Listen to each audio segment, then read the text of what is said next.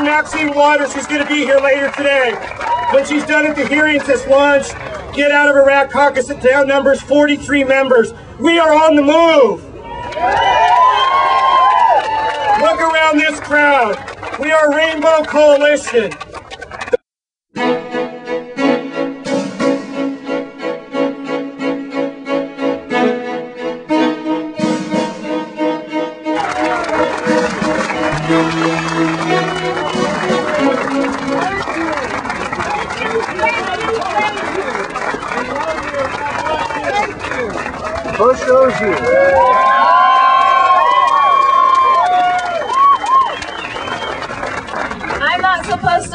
But we kicked ass today. Sorry, John. Oh my God, I don't think I've ever felt so happy since Casey died. I think I'm finally gonna maybe get some kind of justice for Casey and the 1,713 other brave Americans and the tens of thousands of uncounted and countless Iraqi people who have been killed by the lies, by the betrayals of our country. And um, I want to ask my other Gold Star, I know there's some other Gold Star family members for peace here. Can you come up and stand behind me while I'm talking, please, if you can hear me? Um, yesterday, Gold Star Families for Peace walked around Congress. We knocked on doors. We talked to Congress people. We talked to their aides. And we said, before Bush invaded Iraq in October of 2002, you cowardly and expediently abrogated your constitutional responsibility to declare war. So Gold Star Families for Peace, we went and reminded Congress what their constitutional responsibilities are.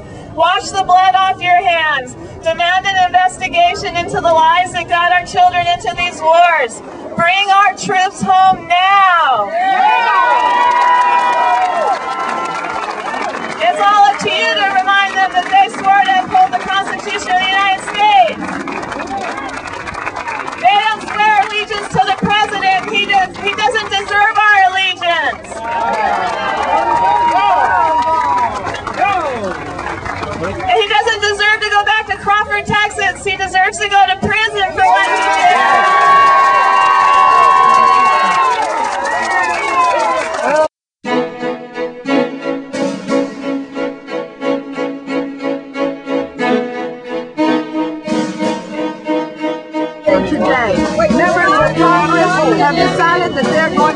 the leadership and provide the strength that is needed to help bring our troops home. Today is a new beginning. It's over for George W. Bush. It's over. We're out here now, okay? Ladies and gentlemen,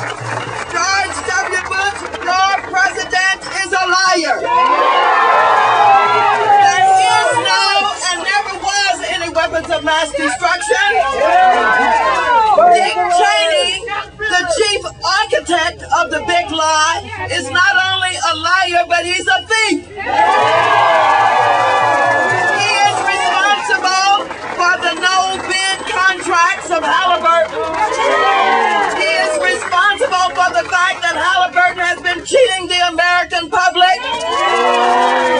And he's responsible for giving them a big bonus for being thieves. Condoleezza Rice is a liar, a thief, and a betrayer of the public trust.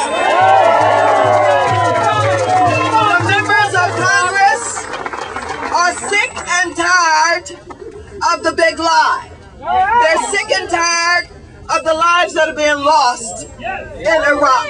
They're sick and tired of the money that's being spent on this ill-conceived war. And so, we have organized out of Iraq Congressional Caucus.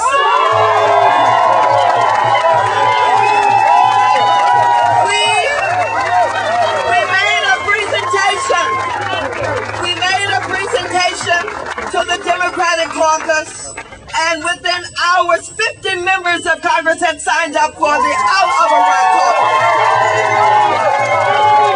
We are organized, we are determined, and ladies and gentlemen, these young people will not have died in in vain. We're going to get them all. We're going to turn it around. We're going to bring our troops home.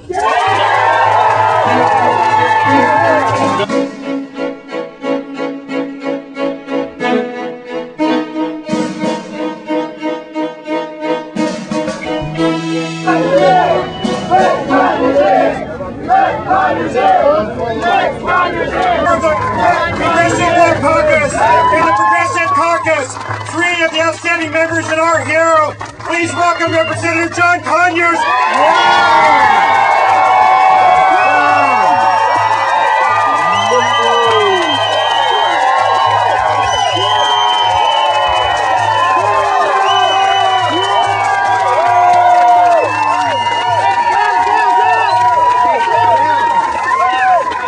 Brothers and sisters, this is a great historic day in America because we've finally broken through the stonewalling that we've been getting in Congress. And the reason we have done it is because of you. Give yourselves a great round of applause. But we also had 50 members of Congress that joined us down in the basement of the Capitol to help do it too. And some of them are here today.